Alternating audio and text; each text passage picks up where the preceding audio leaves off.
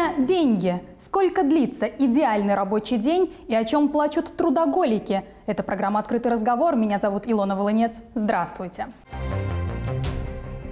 Расчет заработной платы – наука точная, но порой необъяснимая. Героиня нашего следующего сюжета эту высшую математику так и не освоила.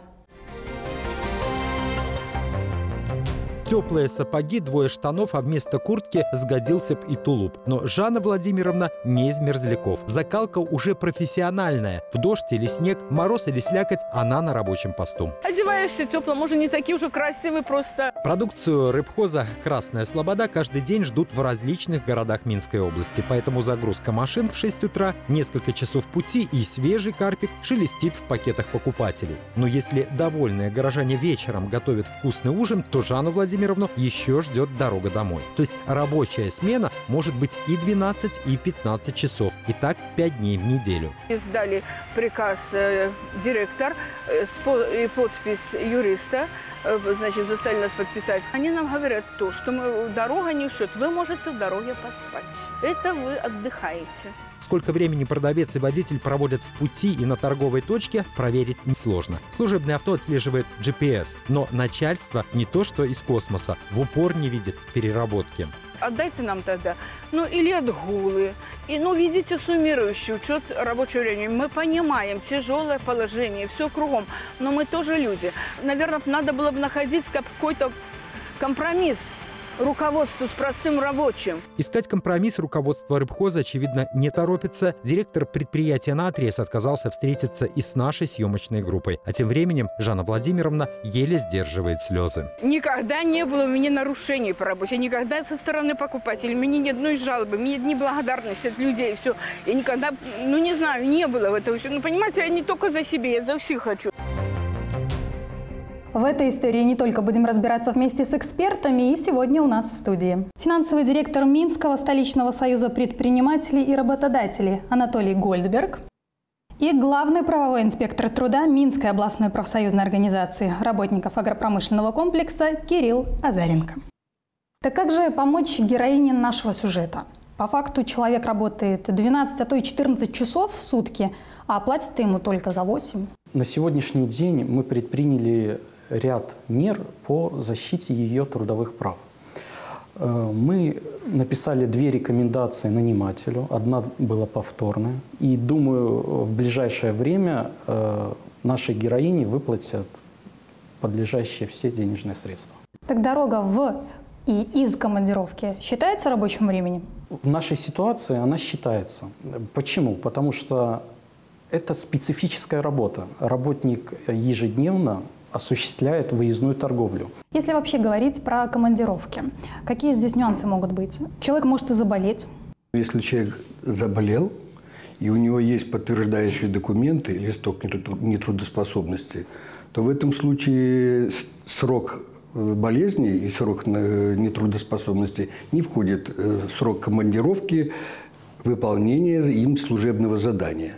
Поэтому Заработная плата во время болезни не сохраняется, но человеку выплачивается э, социальными органами его пособие по нетрудоспособности. А я напомню, что и вы, телезрители, тоже можете присоединиться к нашему открытому разговору. Для этого достаточно взять свой мобильный телефон, снять видео-вопрос, и наши эксперты ответят на него в студии. И сейчас я предлагаю посмотреть один из таких видеовопросов. Мы воспитываем троих детей в возрасте до 14 лет. Скажите, пожалуйста, могу ли рассчитывать на сокращенный рабочий день, либо на сокращенную рабочую неделю? Трудовым кодексом предусмотрено, что лица, имеющие э, детей до 16 лет, троих и более, имеют право на свободный э, от работы день в неделю оплачиваемый. Э, речь не идет о сокращенном рабочем дне, речь идет о дополнительном дне в неделю. Еще много вопросов возникает по поводу ненормированного рабочего дня. Что должен понимать человек, когда соглашается на такой график работы? Ненормированный рабочий день, если наниматель просит выйти работника на работу э, с этими условиями, то ему не нужно согласие самого работника и не нужно согласие профсоюзной организации. То есть на работу можно вызвать в любое время в суток? В любое время суток. Единственное, что оно точно не, не подлежит компенсации по оплате, а подлежит э, компенсации дополнительного отпуска. Э, если наниматель привлекает работников к работе в выходной день, он говорит, у тебя ненормированный рабочий день, ты не имеешь мне права отказать. Это не так. Работа в выходной день и в праздничные дни, государственные праздники не подпадает под понятие ненормированного рабочего дня. Работа в выходной день может производиться только лишь с согласия самого работника. Так есть продолжительность у ненормированного рабочего дня? Моя позиция такая, что статью о ненормированном рабочем дне в Трудовом кодексе желательно бы отменить, потому что она не носит справедливый характер. Э, компенсацию человек на самом деле получает в год 7 э, дополнительных дней к отпуску, но, э, к примеру, в агропромышленном комплексе у нас переработка доходит до и 500 часов, и 600 часов в году. Поэтому э, тут нет справедливости. У нас есть еще один вопрос от наших телезрителей. Давайте посмотрим. Я часто задерживаюсь после работы часа на 2-3. Могу ли я на следующий день приходить позже? Если у него ненормированный рабочий день, он не имеет права прийти позже или взять э, отгул так называемый. Если сверхурочная это была работа, то, э, соответственно, он имеет право на свободный от работы день, либо оплат, доплату. Здесь добросовестность решает все. Если между нанимателем и подчиненным есть нормальные отношения, то конфликтов обычно не возникает. Помимо обеденного перерыва, человек может отсутствовать на работе. Ну, вот, насколько я знаю, три часа отсутствия на работе не считается прогулом. Если работник будет отсутствовать на работе, то у нанимателя э, появляется право наказать его. Если он отсутствовал до трех часов, то может применить к нему замечание либо выговор. Э, в случае, если установят, что работник отсутствовал более трех часов, э, это будет подпадать под понятие прогул. За, э, прогул наниматель имеет право расторгнуть трудовые отношения по своей инициативе с этим работником. Скажите, а подготовка к рабочему процессу считается рабочим временем? Вот, предположим, наши операторы, ну, прежде чем выехать им на съемку, нужно проверить оборудование, подготовиться. Так вот, им нужно приходить на работу на 15 минут раньше? В Трудовом кодексе говорится, что подготовка к рабочему времени, к, к своему рабочему месту и прибытие на работу не входит в рабочее время. Я считаю, что это их рабочее время. То есть э, функция их заключается в том, чтобы подготовиться к эфиру. Это большой объем работы. Именно к операторам ну, я не согласен, что это не их рабочее время. И защищал бы ваших операторов в случае, если бы они обратились к нам. Ну, вот, как вы знаете, одним из первых э, Генри Форд на своем в производстве ввел 8-часовой рабочий день. Причем вроде бы он это сделал из корыстных целей, а не потому что заботился о своих работниках. Он сказал 8 часов трудиться, 8 часов отдыхать и 8 часов для себя. То есть он сутки распределил четко. И в это время для себя желательно, чтобы люди подумали о покупке нового автомобиля. Да. История существования 8-часового рабочего дня насчитывает уже более 100 лет.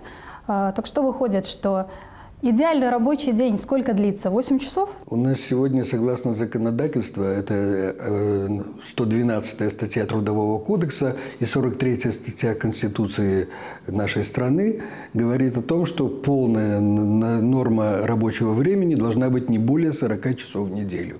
Это закреплено Международной организацией труда. 40-часовая рабочая неделя, не более.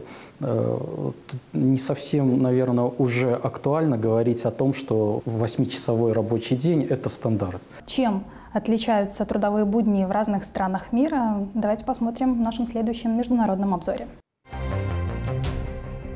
В одной из американских IT-компаний провели любопытное исследование и выяснили, для эффективной работы после каждых 52 минут работы необходим 17-минутный перерыв. Самой трудолюбивой страной считают Китай. Здесь люди работают по 10 часов 6 дней в неделю. На втором месте Индия, где люди трудятся также 6 дней в неделю, но по 8 часов в день. Чтобы экономика стала производительнее, в одних государствах трудятся в поте лица, а в других думают над тем, как работать меньше, но эффективнее. Например, в Японии уснуть за столом во время совещания не считается дурным тоном. Перерывы на дневной сон для работников предусмотрены законодательно. В большинстве стран Южной Европы предусмотрен перерыв в течение дня с полудня до трех часов. Время, которое, например, в Испании называют сиестой, особенно не любят туристы, потому что в этот период все рынки, магазины, кафе закрыты. Самая короткая рабочая неделя в Нидерландах. Жители этой страны трудятся по 6-7 часов в день. На любопытное нововведение пошли в Швеции. Специалистам некоторых учреждений разрешили трудиться всего по 6 часов в день. Медики убеждены, это благотворно влияет на самочувствие работников и на производительность труда. Однако многие наниматели утверждают, что эксперимент обходится им слишком дорого. Как вы относитесь к эксперименту шведскому? Может быть, и в Беларуси можно перейти на шестичасовой рабочий день? Хотя я знаю, что на некоторых предприятиях э, так и есть. Сегодня, к сожалению, мы не можем перейти, потому что э, наша производительность требует, чтобы э, нахождение на работе составляло вот минимум 8 часов. Для того, чтобы республика смогла производить определенный валовый продукт, чтобы его можно было реализовывать. Нам сегодня необходимо такое время. Негативно отношусь э, в том плане, чтобы у нас провести такой эксперимент, потому что э, зная, как на практике это все у нас происходит, может случиться так, что человеку будут и платить за 6 часов. И, соответственно, его доходная часть снизится. Ну и нас, белорусов, и, наверное, не только нас, а вообще всех славян, часто критикуют, что мы не умеем рационально распоряжаться своим рабочим временем. Чаи гоняем, на перекуры бегаем без конца. Вот э, как вы думаете, критика это объективно? Я не думаю, что это везде и повсеместно. Если взять, э, мы смотрим, вспоминаем фильмы «Служебный роман», где приходит на работу, там подкрашивается. Сегодня зависит от коллектива. Я так думаю, что производство, на производстве коллективу некогда этим заниматься. Если работник выполняет свою трудовую функцию, у него есть результат работы, и осталось время для чая, ничего страшного, пусть попьет чай, он отдохнет. Отдохнувший человек делает работу в будущем быстрее и качественнее. Спасибо большое вам за этот открытый разговор. Я напомню, что на вопросы нашей программы отвечали Финансовый директор Минского столичного союза предпринимателей и работодателей Анатолий Гольдберг и главный правовой инспектор труда Минской областной профсоюзной организации работников агропромышленного комплекса Кирилл Азаренко. Есть что сказать, некому слушать? Значит, вам по этому адресу. Присылайте свои видео-вопросы, звоните по телефонам горячей линии СТВ. И, возможно, именно вы станете героем нашей следующей программы. Рабочие моменты бывают разные, и как найти тот самый компромисс? Может, о проблемах? Говорить открыто? Увидимся через неделю.